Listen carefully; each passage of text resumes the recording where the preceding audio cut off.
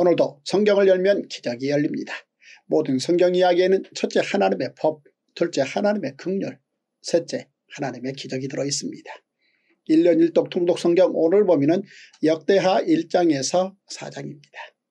역대하에 나타난 솔로몬의 성전 건축 이야기는 바벨론에서 70년 포로 생활을 마치고 귀환한 사람들에게 미래로 나아갈 수 있는 최고의 힘과 능력이 되었습니다. 사실 남유다 사람들이 70년 만에 바벨론에서 예루살렘으로 돌아왔을 때는 삶의 모든 기반이 황폐해진 상황이었습니다. 물론 예루살렘 땅 자체는 하나님께서 예레미야를 통해서 말씀하신 대로 70년 동안 안식을 누렸습니다. 다만 이제 그 땅에 다시 돌아와 삶을 살아야 하는 사람들로서는 예루살렘이 성전도 왕궁도 집도 심지어 성벽까지도 모두 불타고 파괴된 70년 전 상황 그대로였습니다. 하지만 그 조건이 바로 새롭게 시작할 수 있는 조건이었습니다. 그들은 파괴된 성전을 다시 짓고 하나님의 뜻을 이룰 수 있는 시온 산성으로 예루살렘을 다시 만들어 가야 했습니다. 그러한 그들에게 하나님께서는 역대기를 선물로 주시며 새 힘과 용기를 부어주신 것입니다. 자 이제 오늘의 말씀 역대하 1장에서 4장을 먼저 읽겠습니다. 제 232일 역대하 1장 다윗의 아들 솔로몬의 왕위가 견고하여 가며 그의 하나님 여호와께서 그와 함께 하사 심히 창대하게 하시니라. 솔로몬이 온 이스라엘의 천부장들과 백부장들과 재판관들과 온 이스라엘의 방백들과 족장들에게 명령하여 솔로몬이 온 회중과 함께 기브온 산당으로 갔으니 하나님의 회막 곧 여호와의 종 모세가 광야에서 지은 것이 거기에 있습니다. 다윗이 전에 예루살렘에서 하나님의 괴를 위하여 장막을 쳐두었으므로 그 괴는 다윗이 이미 기랏 여아림에서부터 그것을 위하여 준비한 것으로 매우 올렸고 옛적에 후레 손자 우리의 아들 부살렐이 지은 놋제단은 여호와의 장막 앞에 있더라. 솔로몬이 회중과 더불어 나아가서 여호와 앞 곧 회막 앞에 있는 놋제단에 솔로몬이 이르러 그 위에 천마리 희생으로 번제를 드렸더라. 그날 밤에 하나님이 솔로몬에게 나타나 그에게 이르시되 내가 내게 무엇을 주랴? 너는 구하라 하시니. 솔로몬이 하나님께 말하되 주께서 전에 큰 은혜를 내 아버지 다윗에게 베푸시고 내가 그를 대신하여 왕이 되게 하셨사오니 여호와 하나님이여 원하건대 주는 내 아버지 다윗에게 허락하신 것을 이제 굳게 하옵소서. 주께서 나를 땅에 티끌같이 많은 백성의 왕으로 삼으셨사오니 주는 이제 내게 지혜와 지식을 주사 이 백성 앞에서 출입하게 하옵소서.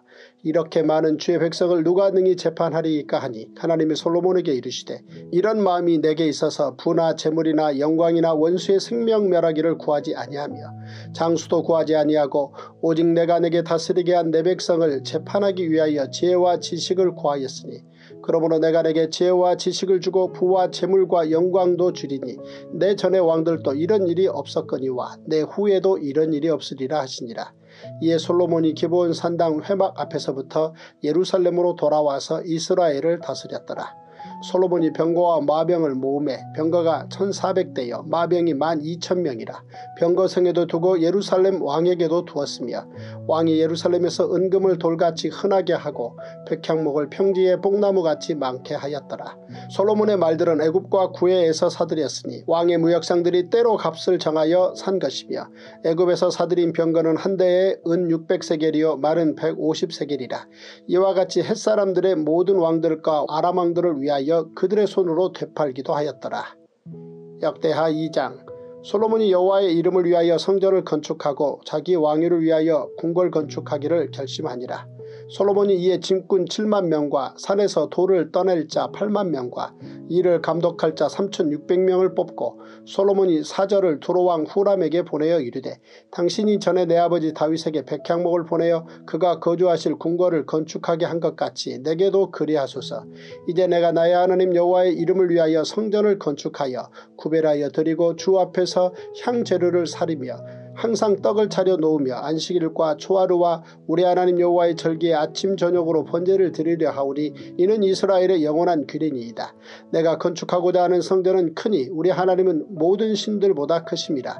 누가 능히 하나님을 위하여 성전을 건축하리요. 하늘과 하늘들의 하늘이라도 주를 용납하지 못하겠거든.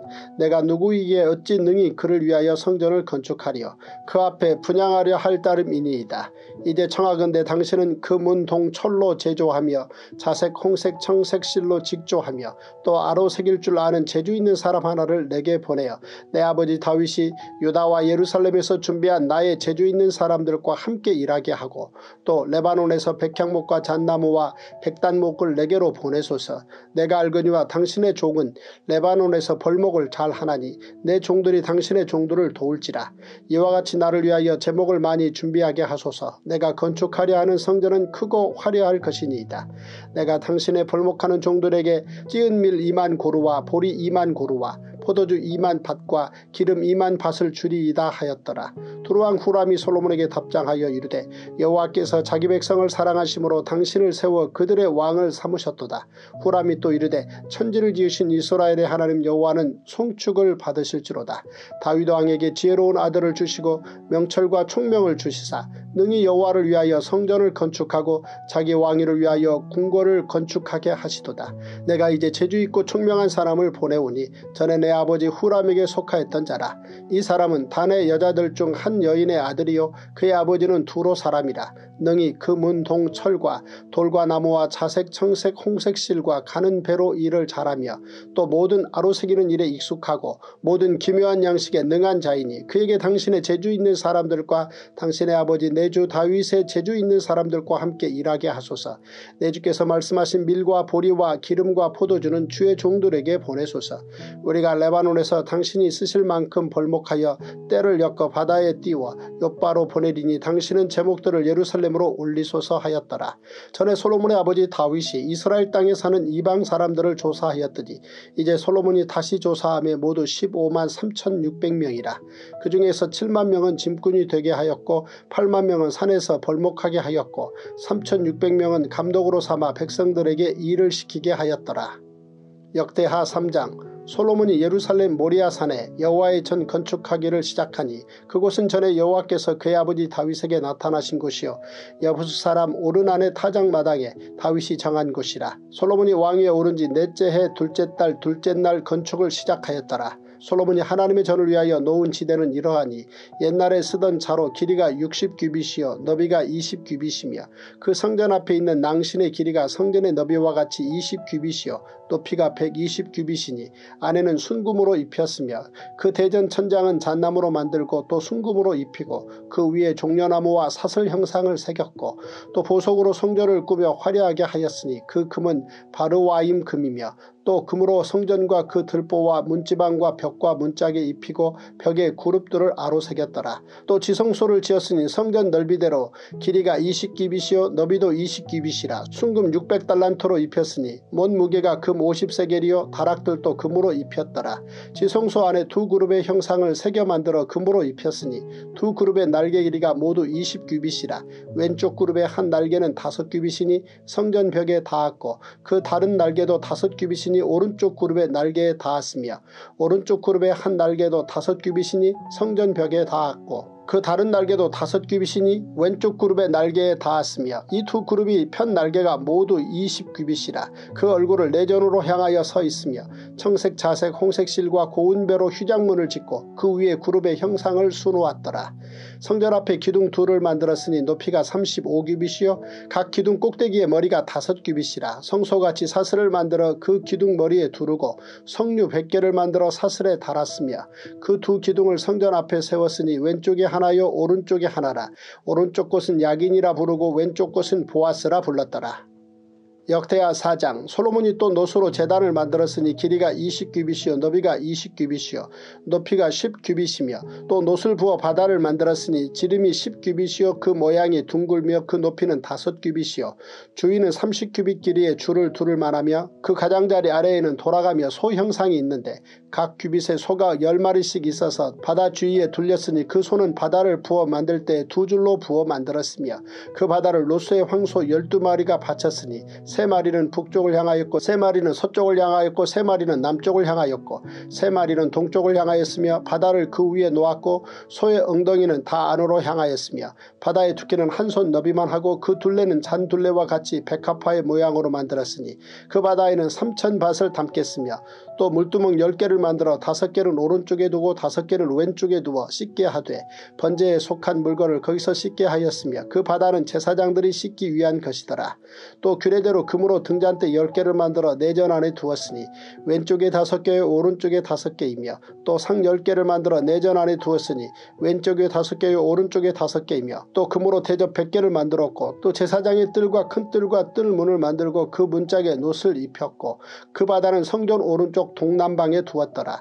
후람이 또 솥과 부삽과 대접을 만들었더라. 이와 같이 후람이 솔로몬 왕을 위하여 하나님의 성전에서 할 일을 마쳤으니 곧 기둥 둘과 그 기둥 꼭대기에 공 같은 머리 둘과 또 기둥 꼭대기에 공 같은 기둥머리를 가리는 그물 둘과 또 그 그물들을 위하여 만든 각 그물의 두 줄씩으로 기둥 위에 공 같은 두 머리를 가리는 석류 400개와 또 받침과 받침 위에 물두멍과 한 바다와 그 바다 아래에 소 12마리와 솥과 부삽과 고기 갈고리와 여호와의 전에 모든 그릇들이라 후람의 아버지가 솔로몬 왕을 위하여 빛나는 노수로 만들 때에 왕이 요단 평지에서 수꽃과 스레다 사이에 진흙에 그것들을 부어내었더라. 이와 같이 솔로몬이 이 모든 기구를 매우 많이 만들었으므로 그 논무게를 능히 측량할 수 없었더라. 솔로몬이 또 하나님의 전에 모든 기구를 만들었으니 곧 금재단과 진설병 상들과 지성소 앞에서 규례대로 불을 켤 순금 등잔대와 그 등잔이며 또 순수한 금으로 만든 꽃과 등잔과 부젓가락이며 또 순금으로 만든 불집게와 주발과 숟가락과 불 옮기는 그릇이며 또 성전문 곧 지성소의 문과 내전의 문을 금으로 입혔더라.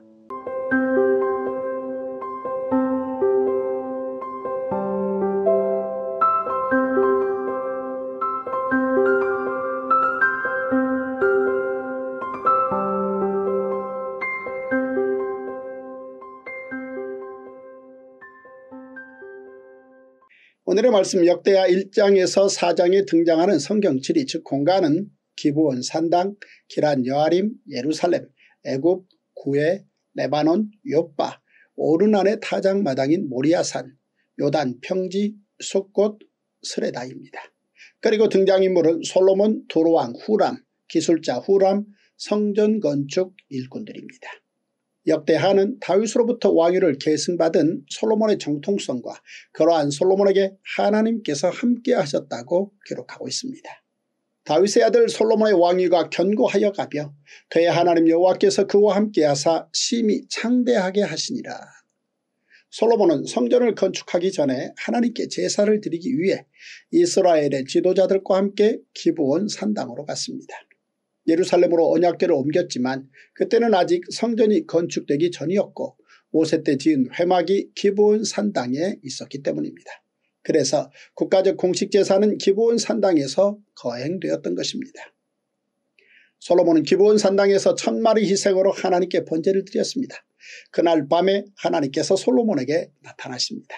역대하 1장 7절입니다. 그날 밤에 하나님이 솔로몬에게 나타나 그에게 이르시되 내가 내게 무엇을 주랴 너는 구하라 하시니 열왕기에서는 하나님께서 솔로몬의 꿈에 나타났다고 기록되어 있고 역대기에서는 꿈이 아닌 직접 계시로 솔로몬에게 말씀하신 것으로 기록되어 있습니다. 열왕기에서는 솔로몬의 지혜가 주목받은 것이고 역대기에서는 솔로몬의 왕위 계승의 정통성이 두드러진 것으로 보입니다. 한편 솔로몬은 백성들을 공의롭게 정의롭게 재판하기 위해 인간의 지혜가 아닌 하나님께서 주시는 지혜를 구했습니다. 이에 하나님께서는 솔로몬이 구한 지혜뿐 아니라 부귀 영화도 함께 주십니다. 다윗의 국가 경영 때와 비교해 보면 솔로몬 때의 국방력이 크게 증대되었고 국가 재력이 크게 확충되었으며 국제무역 또한 크게 활성화되었습니다. 한편 하나님께서 제사장 나라 법으로 주신 규례 신명기의 말씀을 보면 왕은 병마와 아내와 은금을 많이 모으지 말라고 되어 있습니다. 그런데 역대기에서는 이 같은 사실조차도 솔로몬의 부귀 영화로 여기며 하나님께서 주신 복임을 강조하여 기록하고 있습니다. 역대하 2장에서는 솔로몬의 성전 건축 이야기로 이어집니다. 이것은 바벨론 포로 70년 만에 귀환한 남유다 백성들이 다윗과 솔로몬 시대를 가장 많이 그리워했기 때문입니다. 또한 솔로몬이 누렸던 부귀 영화가 어떻게 가능했었는지 그 핵심을 알려주고 있는 것입니다. 솔로몬은 부와 재물과 영화를 하나님께 구하지 않았습니다. 솔로몬이 하나님께 구한 것은 사명을 위한 지혜였습니다. 그러자 하나님께서는 솔로몬에게 지혜와 지식뿐만 아니라 부와 재물과 영화를 세상 그 누구보다도 풍성히 베풀어 주셨던 것입니다. 이것은 귀한 공동체에게 주시는 하나님의 메시지였습니다. 역대하에 기록된 솔로몬의 성전 건축 과정은 첫째 예루살렘 성전 건축을 시작하면서 솔로몬의 왕궁 건축도 계획됩니다. 둘째 성전 건축을 위한 국내 전문 인력이 확보됩니다. 셋째 성전 건축을 위해 두루왕 히람에게 협력을 요청합니다.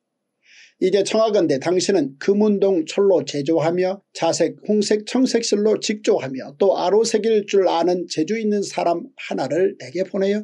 내 아버지 다윗이 유다와 예루살렘에서 준비한 나의 재주 있는 사람들과 함께 일하게 하고 또 레바논에서 백향목과 잣나무와 백단목을 내게로 보내소서.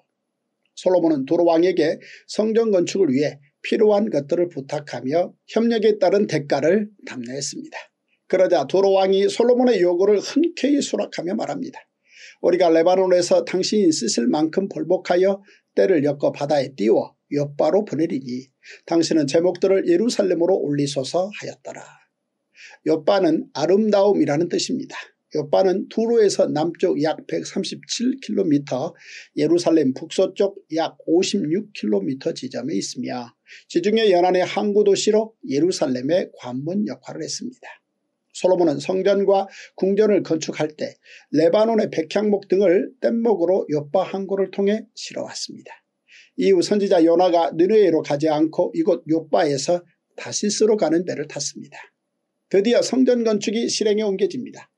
그 아름답고 웅장한 건물을 건축하는 데 필요했던 수많은 절차 가운데 우리의 눈길을 끄는 대목이 있습니다. 성전 건축에 이방인들도 함께 참여했다는 것입니다. 역대하 2장 17절에서 18절입니다. 전에 솔로몬의 아버지 다윗이 이스라엘 땅에 사는 이방 사람들을 조사하였더니 이제 솔로몬이 다시 조사함에 모두 15만 3,600명이라. 그 중에서 7만 명은 짐꾼이 되게 하였고 8만 명은 산에서 벌목하게 하였고 3,600명은 감독으로 삼아 백성들에게 일을 시키게 하였더라. 성전 건축에 참여한 인원은 이방인 기술자가 15만 3,600명이었고 이스라엘 백성 중에는 역군 3만 명과 감독 250명으로 3만 250명이었습니다. 그래서 대략 18만 3,850명이 성전 건축에 참여한 것으로 보입니다. 역대기는 성전 건축의 장소 또한 중요하게 드러내고 있습니다. 바로 아브라함이 아들 이삭을 번제로 바치려 했던 모리아산으로 다윗 시대에 하나님의 임재가 있었던 오르난의 타작마당이었습니다. 이곳에 성전을 세웠음을 강조하고 있습니다. 솔로몬은 먼저 아버지 다윗이 건네준 설계도를 열심히 살펴봤을 것입니다. 판을 하나에서 큰 기둥까지 모든 것을 가장 좋은 것으로 잘 준비했습니다. 성전 건축의 세부 과정을 보면 첫째 가장 먼저 성소를 건축했습니다. 성소는 대전 혹은 외소라고 불렀는데 성소가 지성소보다 더 크고 넓은 장소이기에 대전이라고 지칭했습니다. 둘째 지성소를 건축했습니다. 지성소는 내전 혹은 내소라고 칭했습니다. 셋째 성소 앞 두 기둥을 건축했습니다. 열왕기가 성전 건축의 역사적 사실을 기록했다면 역대기는 이렇게 성전의 규모와 성소와 지성소의 세부 장식 등을 자세히 기록했습니다. 마침내 성전 기구들도 모두 완성됩니다. 솔로몬은 성전을 건축하면서 성소와 지성소뿐 아니라 성전의 기구 하나까지 어느 것 하나도 소홀히 하지 않았습니다. 건물 외형에만 신경을 쓴 게 아니라 내부의 작은 부분까지 세밀한 관심을 가졌습니다. 작은 것과 세밀한 부분 하나하나도 하나님의 큰일이기 때문입니다. 제사장 나라를 향한 다윗의 열심은 이렇게 아들 솔로몬에게 같은 열심으로 나타나 하나님을 기쁘게 해드렸던 것입니다. 오늘 또 성경을 열면 기적이 열립니다. 시대가 어려울수록 근본이 성경에 더욱 기초해야 합니다. 가까우신 소중하신 한 분과 오늘의 이 이야기를 꼭 공유해 주시고 구독과 좋아요 눌러주십시오. 성경 한 권이면 충분합니다. 와우!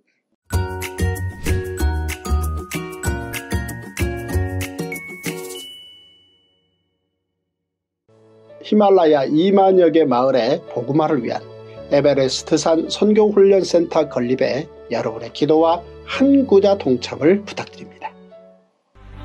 Dr. James O. Davis, the founder and president of Global Church Network, has repeatedly said, For my entire life, I've heard about the underground church in the Middle East, but now it is time to hear about the upper ground church in the Himalayan mountains. The Himalayan mountains are 1,500 miles wide, ranging from Bhutan to Nepal, India, Pakistan, and Afghanistan. There are more than 20,000 villages in the higher altitudes that have never had a local church in them. Mount Everest Training Center. The Mount Everest Training Center will be located in Salokambu, Nepal at the 8,000 foot level. Salokambu has a population of more than 110,000 people. The training center is just 7 miles from the Everest Base Camp at 17,500 feet and 15 miles from Mount Everest Peak, which is at 29,032 feet. In addition to training leaders during the week, the Mount Everest Training Center will serve as a phenomenal church on the weekends.